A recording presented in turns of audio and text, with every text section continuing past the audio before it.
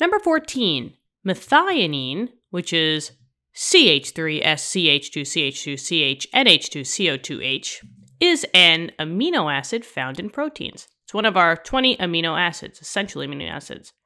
The Lewis structure of this compound is shown below. So this whole thing right here.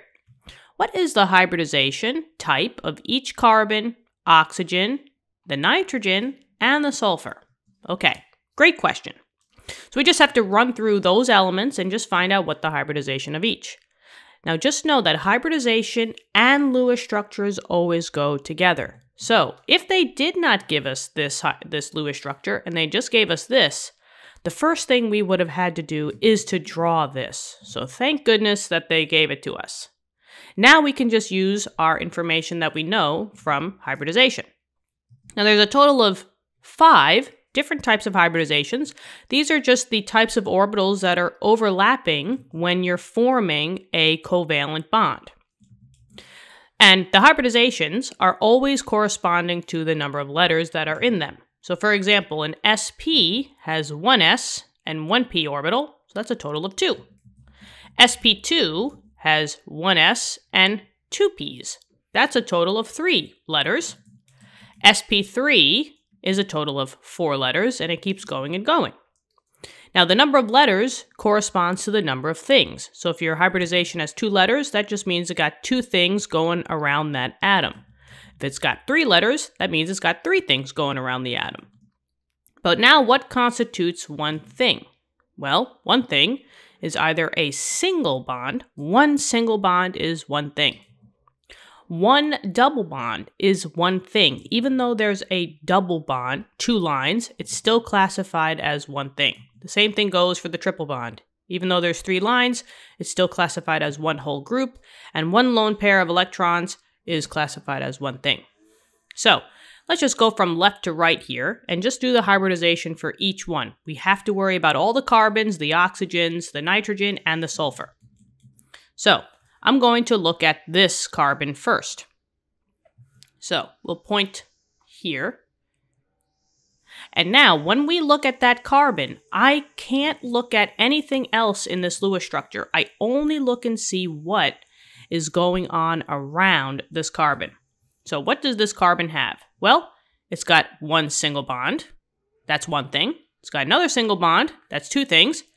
It's got another single bond. That's three things. And it's got another single bond. That's four things. I can't classify these lone pairs because they're not part of carbon. They're part of the sulfur. So the buck stops, whoa, the buck stops here, right? So for this carbon, this one's got four things. So that means four letters. So that's SP3. How easy is that? The first one down. Now, as we progress, we're going to be overlapping some things. So I'm just going to erase um, these just to not get confused. So now the next one is the sulfur. So maybe I'll do the line like this. Okay, so what is, what's going on with the sulfur? Well, it's got one thing, right? You see how now I'm reusing a thing because this is part of carbon and the sulfur. So you got to use it with the sulfur. It's got another single bond. That's one thing. So now we're at two things. A lone pair. That's three things. And another lone pair. That's four things. So four things. Four letters. Same thing as before. SP3. SP3. Okay, two down. They're both SP3 hybridized. Let's get rid of these, just so that we don't get confused, and we're moving on. And let me just let me just make this a little bit better. Okay, now we're going to this carbon. All right, so let's see. Can we get, let's see how fast we can do this, right? What's going on around this carbon? Single bond, one thing. Single bond, two things. Single bond, three things. Single bond, four things. I don't see any lone pairs. So four things, four letters, SP3. Bada bing, bada boom. How easy is that? Next, let's erase. we're going on to the next carbon. This guy. So maybe I'll put this one up here. Okay. One, well, let me use a different color. One thing, single bond. Two things, single bond. Three things, single bond. Four things, single bond, no lone pairs. Four things, four letters. SP3. Okay. Erase, moving on. Next, this carbon. So maybe I'll just put maybe like a little one right here, right? What's going on here? Single bond, that's one thing. Two things for the single bond. Three things for the single bond. Four things for the single bond.